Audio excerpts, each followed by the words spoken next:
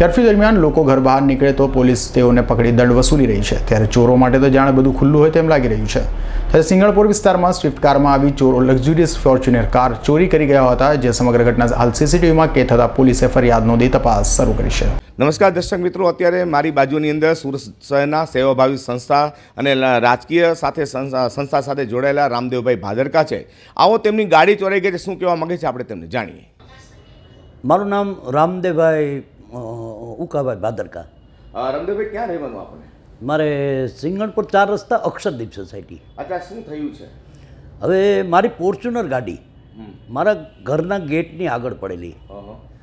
અને રાતના ચાર ને ચૌદ મિનિટે અમે સીસીટીવી કેમેરામાં જોયું તો ત્યાંથી એક સ્વિફ્ટ ગાડી આવી અને એમાંથી ચાર જણા એક જણો ગાડીને આમ તેમ કરી તોડી અને એ પાંચથી સાત મિનિટમાં લઈને જતા રહ્યા. સવા ચાર મતલબ સવા ચાર સુધી પૂરું કરી નાખ્યું. આ બધી પોલીસમાં ફરિયાદ કરી આપે?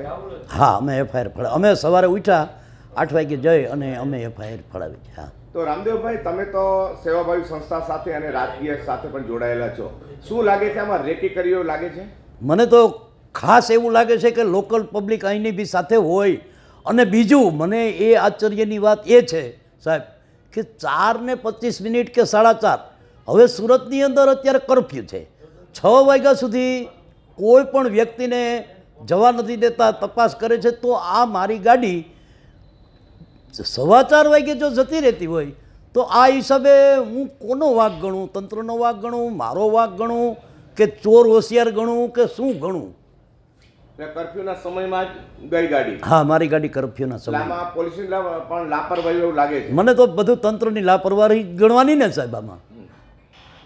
કેટલી કિંમતની ગાડી હતી આપની? મારી મારા વીમાની આમ ગણીએ તો ઓગણીસ લાખની પણ આમ તો ચોવીસ પચીસ લાખની ગાડી ગણાય. અચ્છા વિશેષમાં શું કહેવા માગો છો? સાહેબ એમાં એવું છે કે મારી ગાડી ગઈ પછી હું તમને લોકેશનની વાત કરું કે જે ફાસ્ટ ટ્રેકમાં મારી પાસે જે એમાં મેસેજ આવે હા મોબાઈલમાં એમાં મને સાત વાગ્યાની ઉપર સવા સાતનો કામરેજનો મેસેજ આવ્યો. પછીનો જે કરજણનો મેસેજ આવ્યો. પછી તો બે વાગી અને બે પાંચ મિનિટે બિરામી એટલે રાજસ્થાન ગાડી પહોંચી ગઈ. આ હું બધું પોલીસને લોકેશન આપતો હતો કે ભાઈ મારી ગાડી અહીંયા છે મારી ગાડી અહીંયા છે. પછી અમે ક્રાઇમ બ્રાન્ચમાં વાત કરી ક્રાઇમ બ્રાન્ચવાળા કહે છે, અમે પૂરેપૂરી મહેનત કરીએ છીએ. બાકીની પછીની કોઈ જાણ નથી. મારી ગાડી બિરામી પહોંચી ત્યાં સુધીનો મેસેજ આમાં આવે છે. પછી આવ્યો નથી સાહેબ. મને એમાં એવું છે, મારી ગાડી તો ગઈ, એનો વાંધો નથી, પણ મને આ, હવે એવું થાય છે કે મારી ગાડી ગઈ, એ તો બરાબર, પણ માનો કે કોઈ નાના માણસની લોનથી હપ્તેથી નાની એવી ગાડી લીધી હોય અને હપ્તાય ન ભર્યા હોય ને એની ગાડી જાય ને જો આવી રીતે થતું હોય, તો એ લોકોને તો દવા પીવાનો જ વારો આવે. હવે અમે તો મન મોટું કરીએ છીએ, પણ નાના માણસને શું સમજવું?